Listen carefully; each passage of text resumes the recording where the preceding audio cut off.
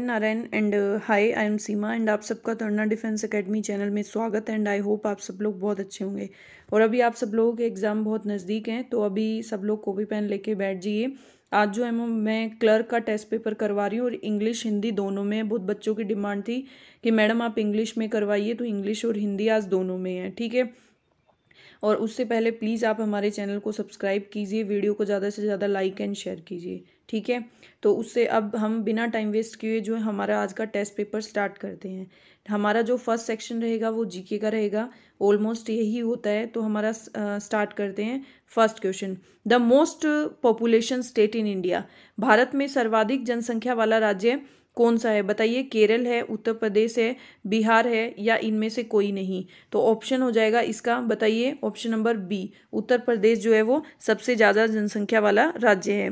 Second number question निम्न में से कौन सा देश भारत की पूर्वोत्तम सीमा से जुड़ा हुआ नहीं है? बताइए।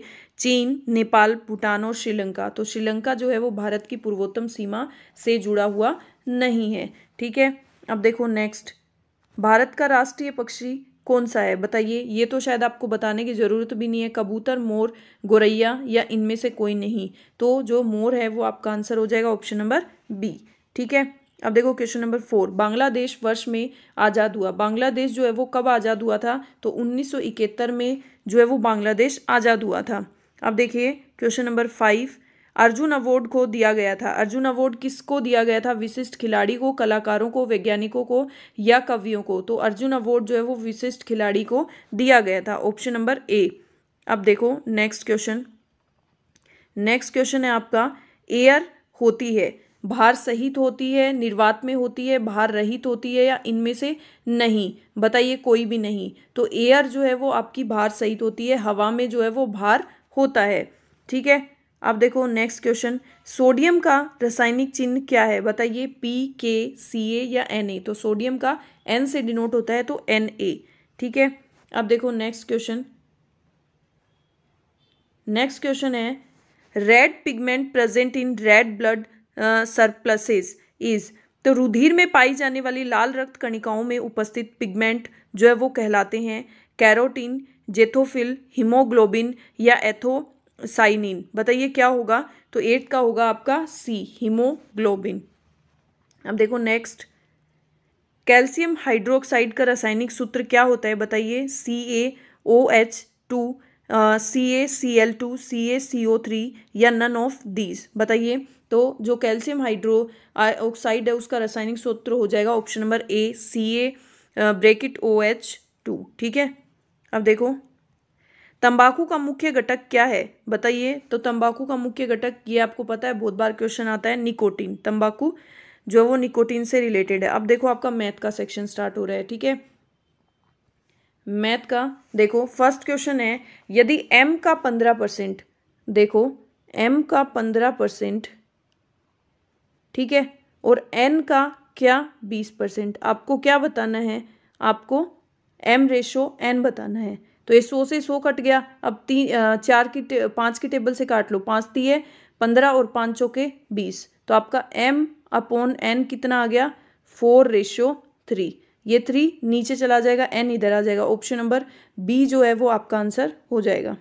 अब देखो नेक्स्ट क्वेश्चन थोड़ा सा स्मॉल कर रही हूँ। देखो इफ़ आपको ये इक्वेशन दे दी और आपको एक्स और वाई का रेशो पूछ लिया तो आप इसको क्या लिख सकते हो? पाँच एक्स की square minus thirteen X Y plus six Y की स्क्वायर ये दे दिया। तो अब आप इसको क्या लिख सकते हो? पाँच एक्स की स्क्वायर माइनस थर्टीन को लिख सकते हो। आप टेन प्लस थ्री लिख सकते हो ना? तो ten X Y minus three X Y plus six Y की स्क्वायर अब इन दोनों में आप कॉमन ले लो। इन दोनों में क्या कॉमन ले सकते हो आप? पाँच एक्स कॉमन ले सकते हो ना? तो यहाँ पे एक्स बच गया और टू वाई पाँच दूनी दस। इन दोनों में आप क्या कॉमन ले सकते हो? इन दोनों में ले लिया आपने थ्री वाई माइनस का। अब यहाँ पे आपके क्या बच गया यहाँ लिख लेते हैं। यहाँ पे आपके क्या बच गया? यहाँ पे वाई बच गया और यहाँ पे क्या आ जाएगा? तीन दूनी छः। तो ये आ जाएगा माइनस का। तीन दूनी छः, दो और एक वाई से एक वाई कट जाएगा। यहाँ पे बच गया आपका एक वाई ठीक है? अब देखो आपके दो वैल्यू दो वैल्यू हो गई इसमें। पाँच एक्स माइनस थ्री वाई और एक हो गया आपका वाई माइनस टू वाई ठीक है ना? तो आपको एक्स और वाई का रेशियो बताना है। तो रेशियो देखो, पाँच X is equal to three Y तो आप आप इसको क्या लिख सकते हो? X upon Y is equal to three upon five एक तो वैल्यू आ गई इसकी थ्री रेशो फाइव एक आ जाएगी Y is equal to two, ये सॉरी एक्स है यहाँ पे। X is equal to two Y तो ये वाई इसके नीचे चला जाएगा एक्स वाई तो एक्स अपॉन वाई तो ये क्या आ जाएगा आपका? ये क्या, यहाँ पे क्या मिस्टेक हो गई? एक्स वाई ये क्या बच गया? एक्स माइनस टू वाई तो X is equal to sorry ये एक्स इजिकल टू हो जाएगा टू वाई तो ये आ जाएगा आपका टू एक्स क्या हो जाएगा आपका? टू और ये जो है वो एक्स अपॉन वाई। देखो ये क्या हो जाएगा? आ, ये आ जाएगा वन। तो एक आपकी हो गई थ्री रेशो फाइव और दूसरा हो गया टू रेशो वन तो आपका जो है ये वाला आंसर सही हो जाएगा बट इसमें वन रेशो टू नहीं होगा। इसमें उल्टा हो जाएगा टू रेशो वन ये रोंग दे रखा है। ठीक है? तो आपका आंसर क्या आ गया? ऑप्शन नंबर बी ये एक मिस्टेक है ये इसको सही कर लेना। ठीक है? अब देखो नेक्स्ट क्वेश्चन नंबर थर्टीन एक मेज को पाँच सौ सत्रह रुपये में बेचने से दस परसेंट का लाभ होता है तो मेज का क्रय मूल्य कितना होगा? देखो, पाँच सौ सत्रह में बेचने पर उसको दस परसेंट का प्रॉफिट होता है तो ये एक सौ दस के बराबर हो गया, और उसको निकालना क्या है? उसका क्रय मूल्य निकालना है। ये ज़ीरो से ज़ीरो गया, ग्यारह चौके चौवालीस, कितना हो गया? छः और सात, ग्यारह सात सतहत्तर। ये उसकी जो वैल्यू है वो कितनी आ गई? चार सौ सत्तर रुपये नेक्स्ट क्वेश्चन देखो। ये देखो चार मीटर का कितने प्रतिशत बीस सेंटीमीटर होगा? तो चार मीटर का कितने प्रतिशत? तो चार मीटर का तो चार मीटर में कितने सेंटीमीटर होते हैं? सौ। तो ये क्या इतना हो जाएगा? चार सौ सेंटीमीटर।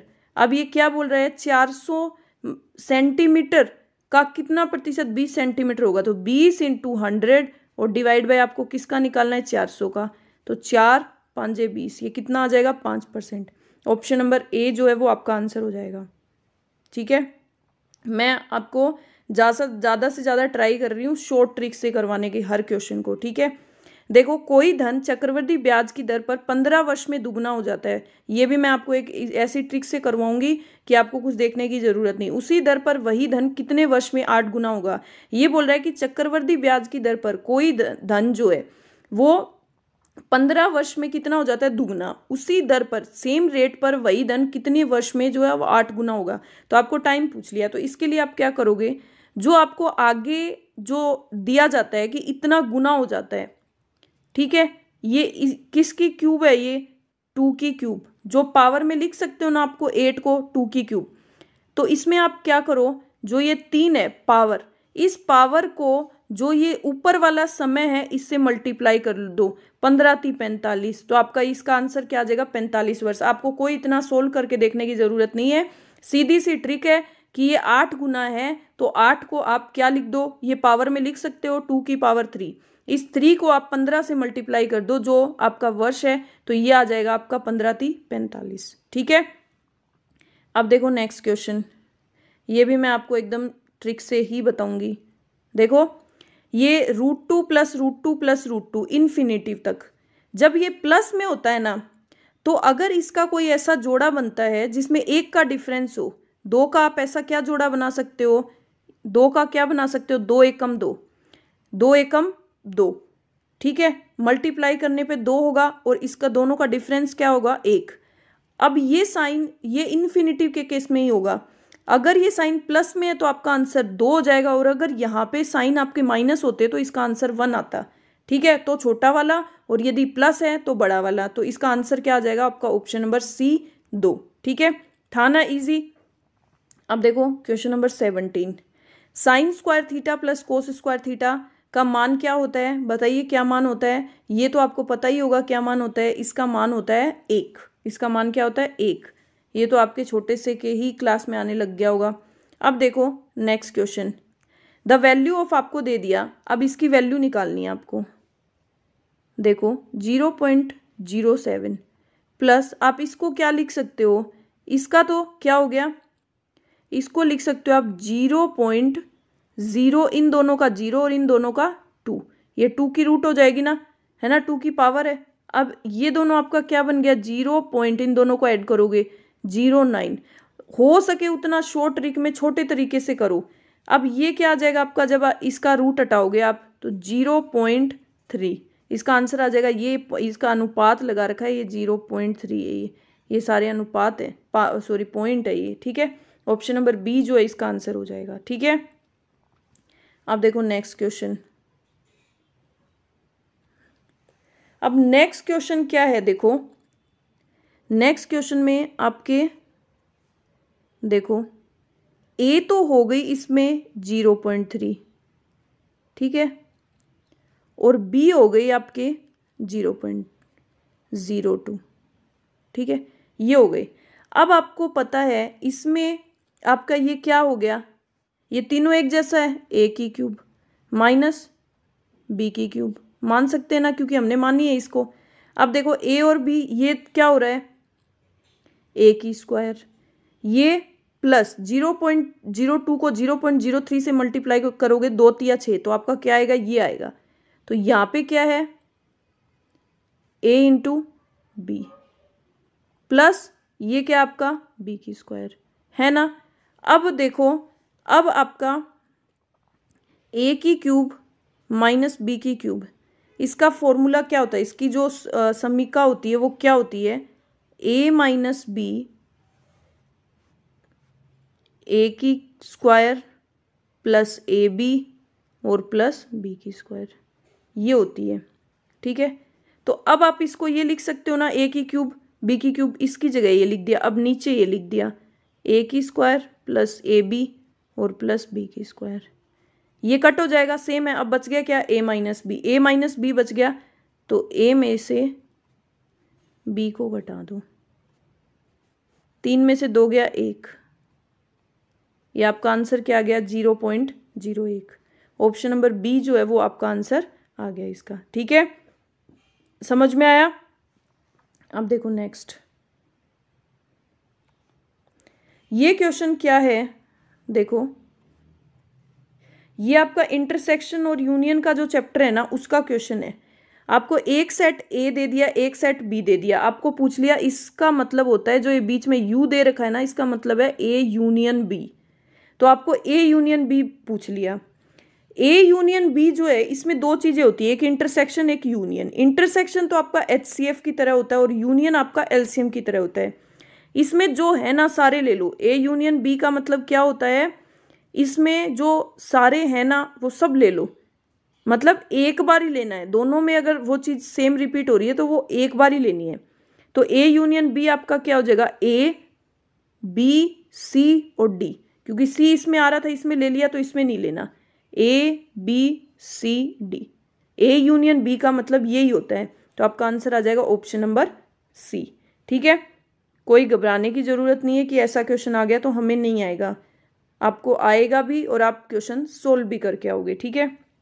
अब देखो विंडोज़ एक्सप्लोरर फ़ाइल एक्सप्लोरर को खोलने के लिए शॉर्टकट की कौन सी होती है? बताइए विंडोज़ एक्सप्लोरर को खोलने के लिए शॉर्टकट की।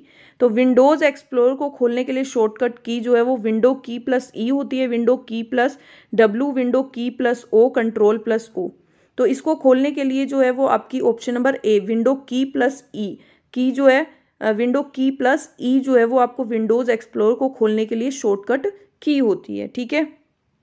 अब देखो नेक्स्ट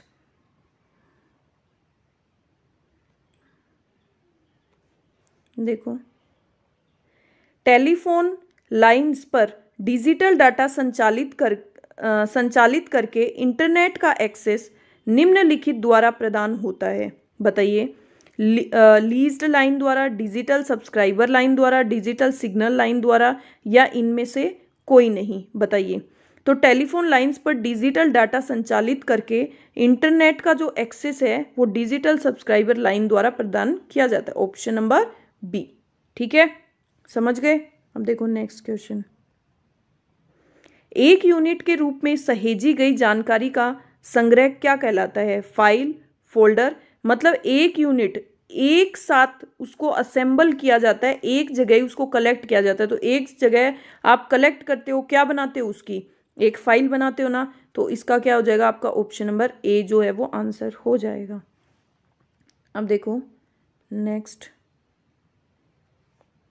देखो कंप्यूटर में इनपुट के बाद जानकारी क्या कहलाती है? बताइए कंप्यूटर में इनपुट के बाद प्रोग्राम सॉफ्टवेयर हार्डवेयर और आंकड़ा। कंप्यूटर में जब वो इनपुट डाल दिया जाता है तो हम किसका वेट करते हैं? आउटपुट का। तो वो किसमें चेंज करता है, वो उसको डाटा में चेंज करके ही तो हमें आउटपुट देता है। तो इसलिए इसका हो जाएगा option number D.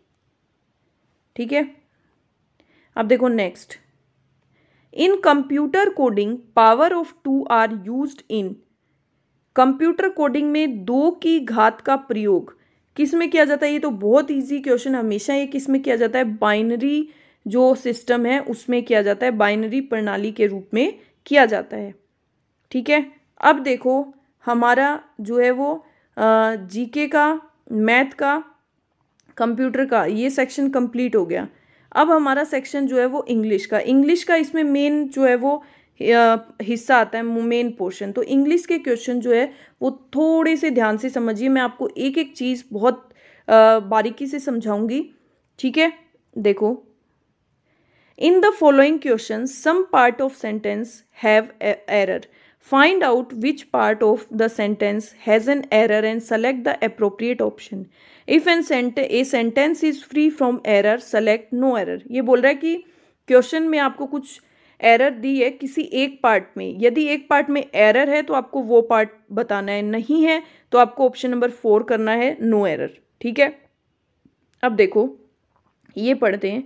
These are super interesting activities keep your little one engage thrilled और ऑफ़ मेरी कुछ दीज आर सुपर ये जो इंटरेस्टिंग जो एक्टिविटीज़ हैं, जो रोमांचित, जो गतिविधियाँ हैं कीप योर लिटिल एंगेज्ड आपको थ्रिल्ड और, आपको रोमांचिक रोमांचित और मतलब टीवी में बहुत आपको एंगेज रखती हैं ये, व्यस्त रखती हैं तो कीप कुछ इंटरेस्टिंग तो यहाँ पे देखो, आपका, अगर आपको दिख रहा है तो लिटिल जो है, वो अनकाउंटेबल नाउन के लिए यूज़ होता है अनकाउंटेबल तो यहाँ पे लिटिल की जगह ए फ्यू होगा ए फ्यू जो है, वो हमारे काउंटेबल नाउन के लिए यूज़ होता है. इसलिए यहाँ पे क्या आएगा? ए फ्यू तो आपके किस पार्ट में मिस्टेक होगी? ऑप्शन नंबर बी लिटिल के जगह यहाँ पे आएगा a few a few countable noun के लिए यूज़ होता है. ठीक है? अब देखो नेक्स्ट देखो, एक और एरर का पार्ट है आपके। इसमें भी आपको वही एरर बतानी है। Since they got something different each month they keep coming back to it no error ये बोल रहा है कि since they get got something कि since they got something different मतलब उसे हर महीने कुछ अलग प्राप्त होता है। They keep coming back to it तो वो क्या आ जाता है? वापस आ जाता है। तो दे गेट ये पूरा सेंटेंस आपने रीड आउट करा है ये किसमें आपका? प्रेजेंट टेंस में है। तो प्रेजेंट टेंस में है तो यहाँ पे पास्ट की आपकी जो है मेन वर्ब वो क्या कर रही है? तो इसलिए यहाँ पे गेट की गो, गोट की जगह आपके क्या आ जाएगा? गेट ऑप्शन नंबर वन जो है इसमें एरर हो जाएगी। ठीक है? अब देखो नेक्स्ट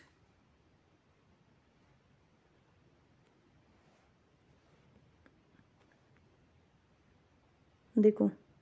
दे लुक लाइक इसमें अवर आएगा अवर्स आएगा अस आएगा या वी आएगा। दे लुक लाइक क्या आ जाएगा? Option number C as they look like as we जो है वो हमारी तरह दिखते हैं। अस अस जो है यहाँ पे ऑब्जेक्टिव केस है। क्या है? ऑब्जेक्टिव यहाँ पे लाइक के साथ हमेशा ऑब्जेक्टिव केस आता है। ना कि सब्जेक्टिव केस आता है, इसलिए सब्जेक्टिव केस यदि हम कर देंगे तो वो रोंग हो जाएगा। इसलिए यहाँ पे हम अस लगाएँगे, क्योंकि लाइक के साथ ऑलवेज यूज़ ऑब्जेक्टिव केस ठीक है? समझ गए? अब देखो नेक्स्ट देखो both Sushant, bracket, Rohit are handsome both Sushant Sushant and यहाँ पे क्या आ जाएगा आपका एंड ऑप्शन नंबर बी ये कुछ कंजक्शन होते हैं जो यूज़ होते हैं नॉट ओनली बट ऑल्सो तो यहाँ पे आपका यूज़ हो गया बोथ सुशांत एंड रोहित, कि दोनों, सुशांत और रोहित दोनों ही सुंदर हैं। तो इसका क्या आ जाएगा आपका ऑप्शन नंबर बी ठीक है? अब देखो नेक्स्ट देखो in the following question out of the given four alternatives select the one which best express the meaning of given word. ये बोल रहा है कि आपके कुछ वर्ड दिए हैं, उसके कुछ अल्टरनेटिव हैं तो आपको उसका सेम मीनिंग बताना है कि उसका जो होगा, वही इन चारों में से एक का आंसर होगा। आपको उसका सिनोनिम बताना है। सिंपल शब्दों में उसका सिनोनिम बताना है, उसका समानार्थी शब्द बताना है। ठीक है? अब देखो सबसीड सबसीड का मतलब होता है कम होना। या इसको बोल सकते हैं, शांत होना भी बोल सकते हैं, ठीक है? तो आपका देखो डिसेंट का मतलब भी क्या होता है? कम होना। तो इसका आंसर क्या हो जाएगा? ऑप्शन नंबर ए क्योंकि एनलार्ज का मतलब क्या होगा? बड़ा प्रोनोलोग का मतलब लंबा, और एन सेंट का मतलब हो जाएगा आपका ऊपर चढ़ना। तो इसलिए इसका जो आंसर है, वो ऑप्शन नंबर ए हो जाएगा, ठीक है? क्योंकि हमें उसका सिनोनिम बताना था। अब देखो नेक्स्ट वाले में भी क्या बताना आपको? Select the one which best express मतलब सेम मीनिंग बताना है इसका भी। तो इवेट का मतलब क्या होता है? इवेट का मतलब होता है आक्रमण करना। क्या? आक्रमण करना। तो देखो एब्यूज का मतलब आपको पता है गाली देना होता है। ट्रेस का मतलब क्या होता है? कचरा होता है। रिवे रिवेज रिवाज का मतलब क्या हो जाएगा यहाँ पे? आक्रमण करना, बदला लेना, ठीक है? रिवेंज होगा ये। और शर्ट जो है, ये क्या हो जाएगा आपका? टुकड़ा। इसका मतलब क्या होता है? टुकड़ा। तो ऑप्शन नंबर बी जो है, वो आपका आंसर हो जाएगा।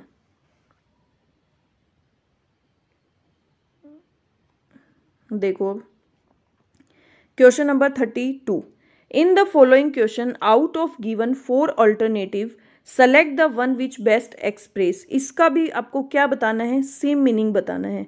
तो स्टेडी का मतलब क्या होता है? नियमित। क्या होता है? नियमित। मतलब रेगुलर वेल्यूनरेबल का मतलब क्या होगा आपका? वेल्यूनरेबल का मतलब होता है चपेट में आना किसी चीज़ के। फ्लेक्सिबल मतलब लचीला। ठीक है?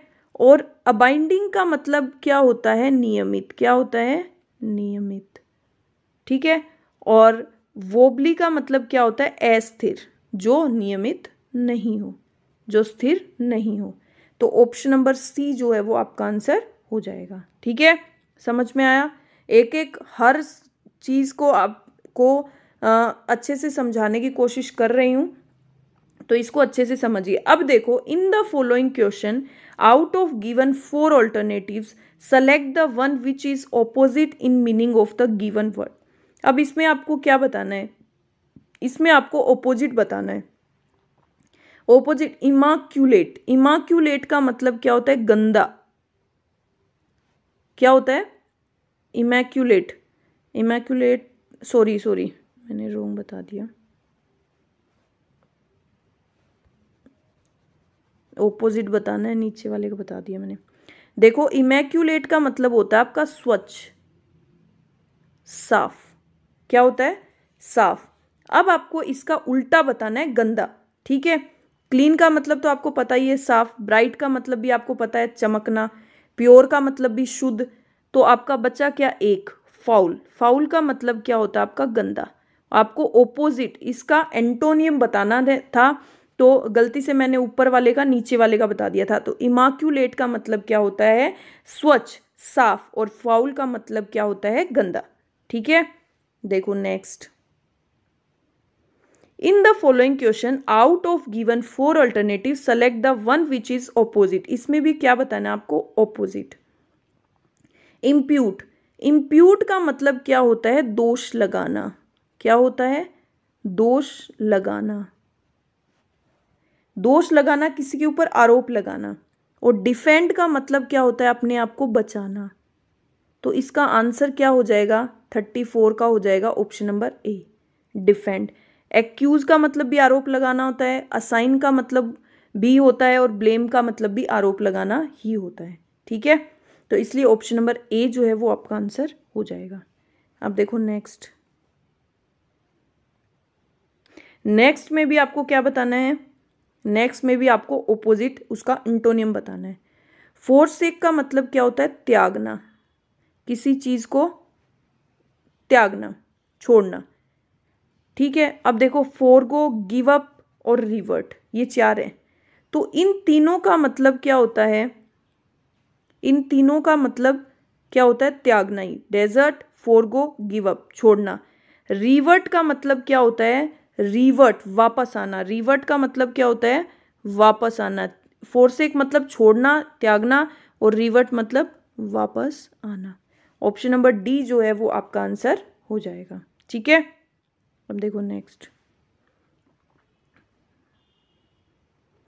in the following question out of the four given alternative select the alternative which best express the meaning of the idiom phrase आपको ईडियम फ्रेज दे दिए और आपको एक जो है वो आपको परफेक्ट जो ईडियम जो है, आपका जो मुहावरा है उसका आपको सटीक आंसर बताना है कि उसका मीनिंग क्या निकल रहा है।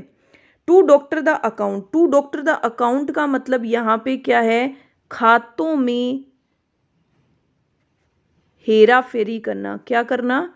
खातों में हेरा फेरी करना। ठीक है? तो इसका आंसर क्या हो जाएगा? वेरी कॉस्टली ट्रीटमेंट मतलब बहुत ज़्यादा costly treatment. High class treatment ये भी मतलब बहुत हाई लेवल का treatment auditing of account accounts की देख रेख करना ऑडिटिंग उसकी जाँच करना.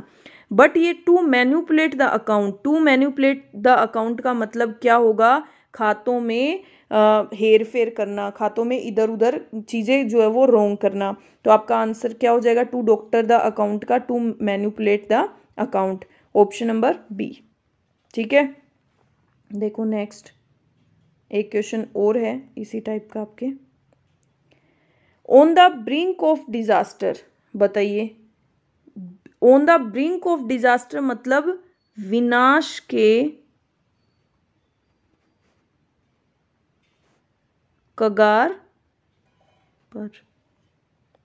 समथिंग स्टिल इन हैंड कुछ आप भी, भी आपके हाथ में है। नेचुरल डिस्ट्रक्शन मतलब प्रकृति का कुछ खराब होना टू डाई मरना वेरी क्लोज टू फेल्योर मतलब विनाश के कगार पर इसका क्या हो जाएगा? वेरी क्लोज आप फेल्योर के मतलब आपको अनसक्सेस जो है उसके बहुत करीब हैं तो ऑप्शन नंबर डी जो है वो आपका आंसर हो जाएगा।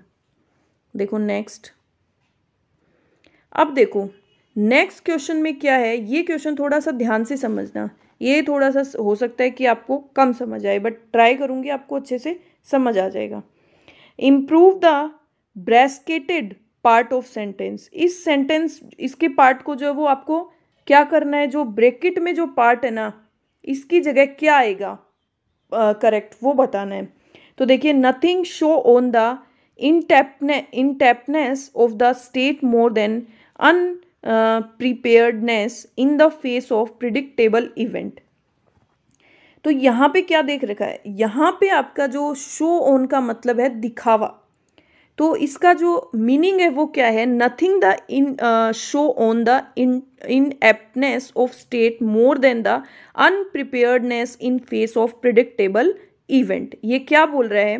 कि अनप्रिडिक्टेबल इवेंट जो अपेक्षित घटनाएँ हैं, उनके जो चेहरे के बिना, अपेक्षित घटनाओं के चेहरे के बिना, जो नथिंग द इन इन टेपनेस मतलब क्या है? चेहरे के बिना किसी भी शर्त के जो ऑफ़ द स्टेट राज्य की जो अयोग्यता है इन एपनेस मतलब अयोग्यता से कुछ भी नहीं दिखाई देता है।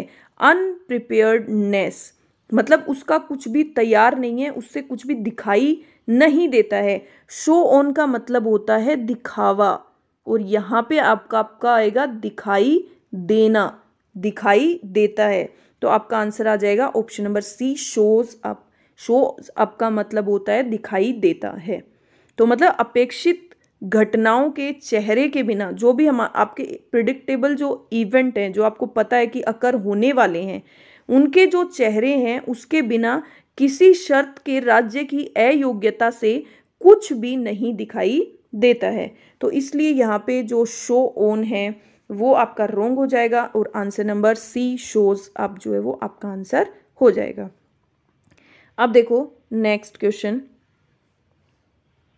ये एक क्वेश्चन और है इस तरह का। देखो, इसको भी अच्छे से समझना। Prohibitionary order will not enforced with the government evidently viewing the looming protest as pressure relief valves instead of as trigger points for violence. ये बोल रहा है कि विल नोट ठीक है? यहाँ पे जो है प्रोहिबिशनरी ऑर्डर जो है, वो मतलब निषेधाज्ञा प्रोहिबिशनरी मतलब किसी चीज़ को रोकना। तो उसको रोकने का एनफोर्स्ड मतलब आदेश जो है, वो लागू हो गया। तो हो गया मतलब हो चुका है तो यहाँ पे क्या आएगा आपका? वर नोट क्या आएगा?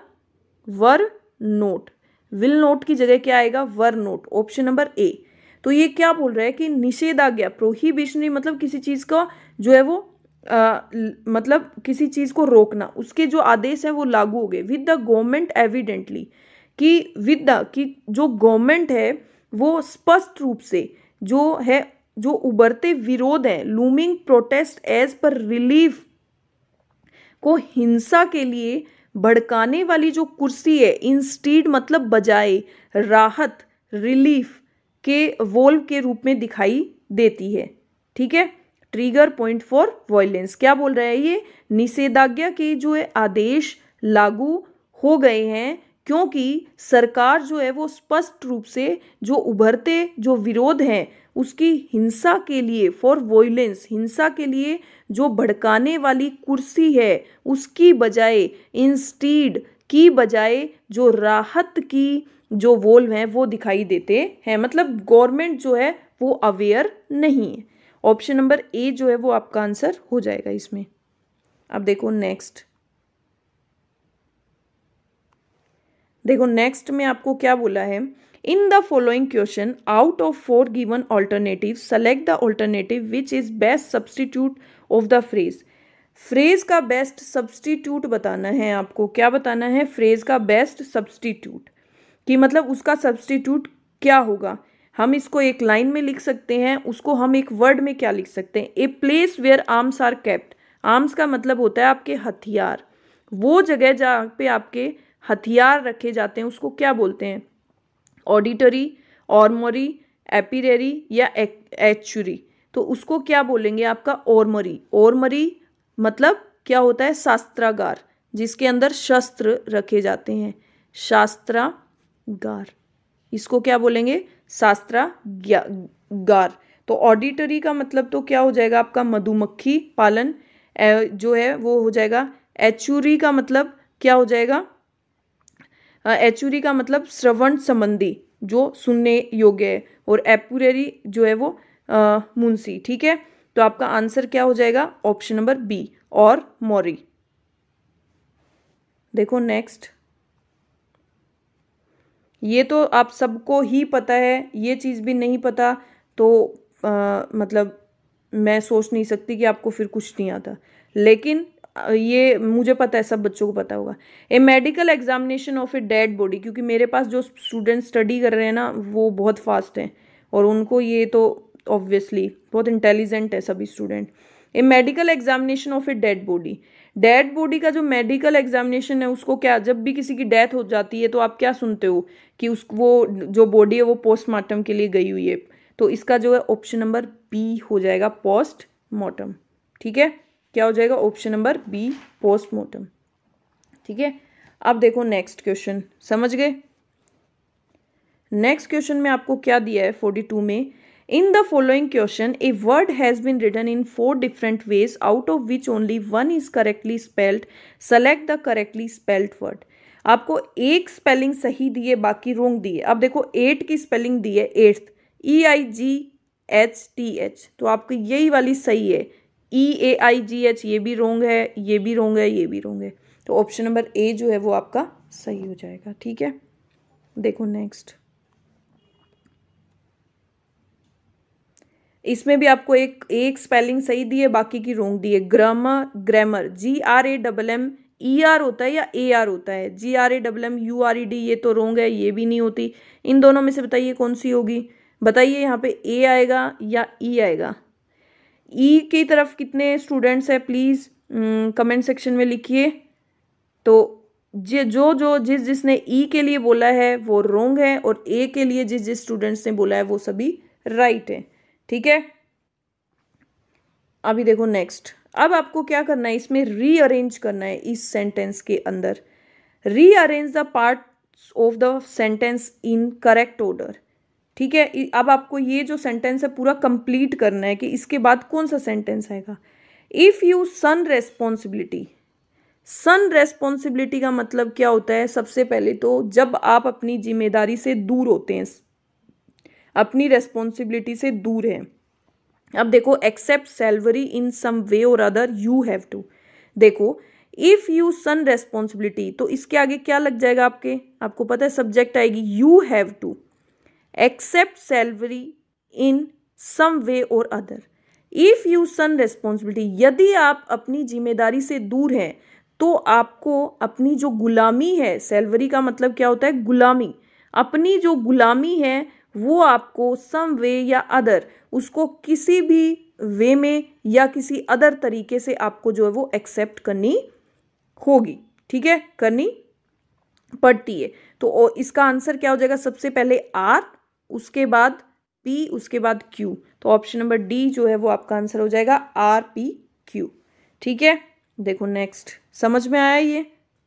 देखो next digital India program government of India to make this is a big step taken by country a digitally empowered company ये बोल रहा है digital India program digital India program जो डिजिटल इंडिया जो इसका प्रोग्राम है भारत का इज़ ए बिग स्टेप ये एक बहुत बड़ा स्टेप है टेकन बाय द जो कि लिया गया है किसके द्वारा लिया गया है? Government of India to make this Bharat की सरकार के द्वारा टू मेक दिस इसको बनाने के लिए country a digital empowered country देश को एक डिजिटलाइज कंट्री बनाने के लिए ये एक बहुत बड़ा स्टेप लिया गया है इंडियन गवर्नमेंट के द्वारा डिजिटल इंडिया प्रोग्राम इसलिए इसका क्या हो जाएगा?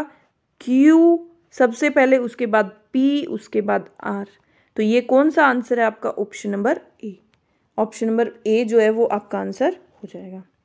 अब देखो, अब आपके ये एक पैराग्राफ है। उस पैराग्राफ में आपको कुछ ब्लैंक्स दिए हैं। अब आपको उन ब्लैंक्स का जो है वो आंसर करना है।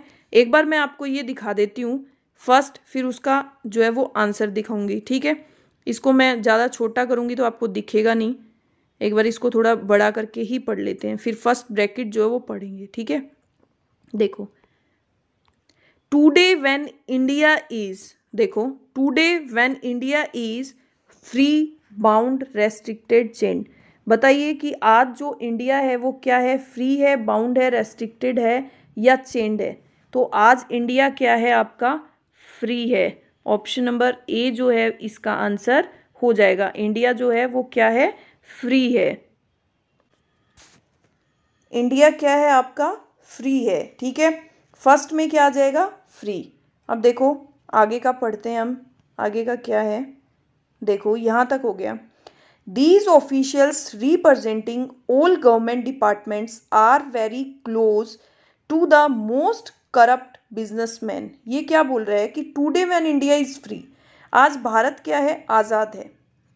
These officials representing all government department सभी गवर्नमेंट डिपार्टमेंट के जो ऑफिशियल जो प्रतिनिधित्व हैं, क्या है? दीज ऑफिशियल रिप्रेजेंटेटिव गवर्नमेंट, सरकारी जो विभाग हैं, उनके जो भी ऑफिशियल जो प्रतिनिधित्व हैं are very close to most corrupt businessman वो क्या हैं? जो मोस्ट जो करप्ट जो हिंसावादी, जो बिजनेसमैन हैं, व्यवसायी हैं, उनके बहुत निकट हैं, बहुत क्लोज हैं। आजकल आप देखते हो कि कोई भी जो है वो बिजनेसमैन बड़े बड़े बिजनेसमैन होते हैं, पैसे वाले होते हैं, वो सब चीज़ें उनके हाथ में होती है। आजकल जो है वो क्या देते हैं, पैसे दे देते हैं और उनका काम हो जाता है। तो उसी के ऊपर है ये कि जो सारे जो ऑफिशियल जो रिप्रेजेंटेटिव हैं, जो प्रतिनिधित्व हैं, वो जो है वो, जो करप्टेड बिजनेसमैन है, जो व्यवसायी हैं, उनके बहुत क्लोज हैं, उनके बहुत निकट हैं। Who are to to break it to let any opportunity opportunity of amazing profits who are to देखिए who are to break it to let any opportunity ethical ethical मतलब नैतिक। अनस्क्रप्यूलेश अनस्क्रप्लस uh, का मतलब क्या होता है? प्रिंसिपल मतलब सिद्धांत और ट्रस्ट वर्दी मतलब जो है वो ट्रस्ट वर्दी ट्रस्ट रखने वाला, ठीक है? तो इसका आंसर क्या हो जाएगा? अनस्क्रप्यूलेश अनस्क्रप्लेस का मतलब होता है आपका बेईमान। क्या होता है? बेईमान। अनस्क्रप्लेस का मतलब होता है बेईमानी। तो मतलब who are to unscrupulous to let any opportunity वो मतलब बेईमानी से भी किसी भी तरीके से उस अवसर को जो है वो जाने नहीं देना चाहते हैं। वो बेईमानी से भी उस अवसर को पाना चाहते हैं। They are to unscrupulous to let any opportunity अब देखो, नीचे वाला भी यही था ना। Of opportunity of amazing profits in flats rises slip या surge surges of amazing profit इसमें क्या आएगा आपका? इसमें आएगा आपका इनफ्लैट्स का मतलब होता है अवमूल्यन करना। राइजेस का मतलब होता है क्रिएट करना और सर्जेस का मतलब होता है आवेश। स्लिप स्लिप का मतलब होता है पर्ची एकत्रित करना ऑफ़ अमेसिंग प्रॉफिट मतलब इसका मतलब ये था कि हु आर टू अनस्कप्लेस वो मतलब बेईमानी से भी किसी भी अपॉर्चुनिटी को जो है वो आ, मतलब खोने नहीं देना चाहते वो उसको पाएँगे ऑफ़ अमेसिंग प्रॉफिट्स स्लिप मतलब अपने प्रॉफिट को एकत्रित करने के लिए ठीक है? वो किसी भी अपॉर्चुनिटी को बेईमानी तरीके से भी उसको जाने नहीं देंगे। अब देखो नेक्स्ट कहाँ तक हो गया आपका? एमिसिंग प्रॉफिट अब देखो next this collusion broad broadness the base of the vicious circle vicious circle मतलब भ्रष्टावादी जो सर्किल है वो। And corruption spreads like wild fire to break it the entire society the collusion broadness जो ये कोल्यूजन का मतलब होता है मिली भगत। कोल्यूजन का मतलब क्या होता है? मिली भगत। जो ये मिली भगत, जो वीसीएस सर्किल जो दुष्चक्र है ब्रॉडनेस द बेस ऑफ़ वो क्या हो रहा है? वो, उसका जो बेस है ब्रॉडनेस मतलब विस्तृत। वो क्या है? बढ़ रहा है। एंड करप्शन स्प्रेड और करप्शन जो है भ्रष्टाचार स्प्रेड फैल रहा है लाइक विल्ड फायर ये आपकी एक फ्रेज है लाइक विल्ड फायर जंगली आग की तरह। अब आगे देखते हैं इसमें क्या आएगा। To like wild fire to complete मतलब पूरा फिनिश मतलब आ, समाप्त होना। डेटोर डेटोरिएट का मतलब होता है डेट्रिएट का मतलब होता है डेटीरिएट का मतलब भी बिगाड़ना होता है। और एनगल्फ का मतलब होता है निगल जाना। निगल जाना। तो ऑप्शन नंबर सी कि like wild fire engulf the entire society की जो भ्रष्टाचार इतना फैल रहा है कि पूरी सोसाइटी जो है उसको क्या कर रहा है? जंगली आग की तरह निगल रहा है। वो अपने कंट्रोल में ले रहा है। ठीक है? अब देखो, कहाँ तक हो गया? यहाँ तक हो गया। अभी आगे पढ़ते हैं। The political and social guardians depend only too depend only too much on the richer communities जो पोलिटिकल जो राजनीतिक और जो सोशल जो सामाजिक गार्जियंस हैं ठीक है? गार्जियंस हैं वो डिपेंड करते हैं। जो मतलब पोलिटिकल और सोशल जो uh, जो गार्जियंस हैं वो किस पे डिपेंड करते हैं? जो अथॉरिटी है, वो किस पर डिपेंड करती है? Only too much richer community मतलब जो अमीर जो कम्युनिटीज होती हैं, जो अमीर समुदाय होते हैं, क्योंकि वो उनको पैसे देते हैं, वो उनको घूस देते हैं तो उससे उनका क्या है, काम चलता है। तो इसलिए वो पूरा किस पे डिपेंड है? रीचर कम्युनिटीज़ पे। And they look indulgently on while these communities hold the entire society and the government too they look indulgently on while वे जो है वो क्या करती हैं? दोहरे रूप को दिखाते हैं। इंड्यूल मतलब दोहरे।